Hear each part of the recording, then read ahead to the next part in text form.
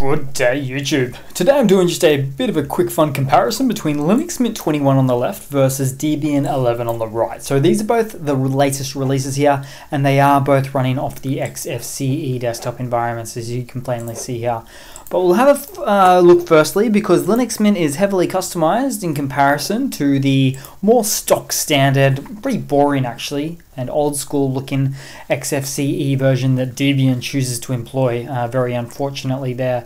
So you do have uh, the applications menu for Debian, you're able to uh, look at the categorization of apps and load up an app that you want, but you don't have the search function that Linux Mint 21 does. So yeah, props to Linux Mint for that one there.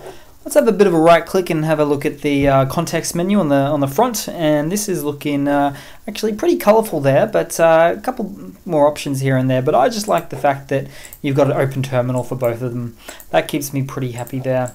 Uh, next up uh, what we want to do is have a look at the the file manager there. So we'll just see what we're dealing with. Now once we open both of these up if it all lets me uh, yeah, not very pretty, gotta say, the uh, the default version, but it is, they are both using Thunar, pretty much the same version there as well. Now, Linux Mint has chosen to customize its uh, icons and color sets to make them a little bit more um, beautiful and that, that, that mint flavor color in. But uh, again, Debian 11 is just going the stock standard and it is super boring. It looks like an old Linux from the 2000s. Uh, next up, let's have a little bit of a look at the back end and we'll see what's happening there. So, might see some differences here.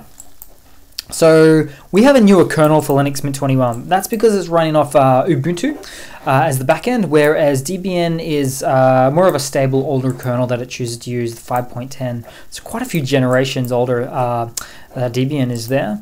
Uh, next up, last but not least, take these values with a bit of a grain of salt, but let's have a look at the CPU and uh, RAM usage on boot up. So CPU is idling off for both of them nicely. Now Linux Mint 21 is running at uh, 567 megabytes of RAM on boot up, not too bad. And Debian 11, the stock variant, uh, a little bit less, 532 megabytes of RAM on boot up. So much of a muchness, but you've got a much more beautified version of the XFCE desktop environment with a newer kernel, and you're not paying for it with any extra RAM really, or CPU for that matter. So that's pretty much it guys. Thanks for watching. Please leave a comment. Uh, uh, subscribe, hit that like button, and I do hope to see all of you guys there in the next one. Cheers.